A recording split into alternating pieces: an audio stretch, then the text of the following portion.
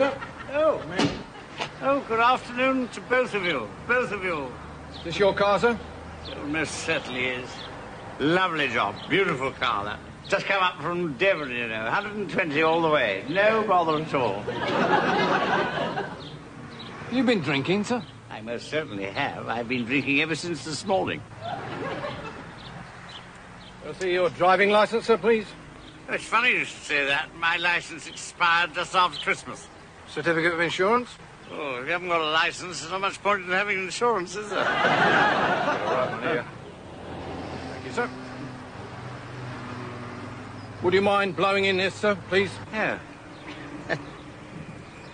We're going to have a party, are we?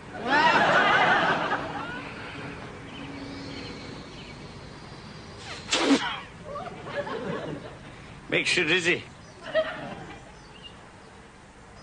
Cool. I'm placing you under arrest, sir. I must ask you to accompany me to the police station. Off we go to the jolly old Nick, eh? You take the squad car, Ted. I'll follow in this gentleman's car. Right. Now then, if you don't mind, sir, please. Get in the car.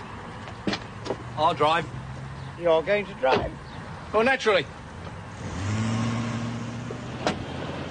But what about Smithers, my chauffeur?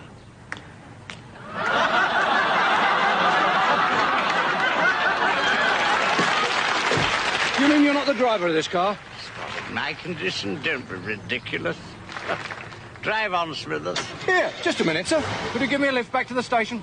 Get knotted. Sir.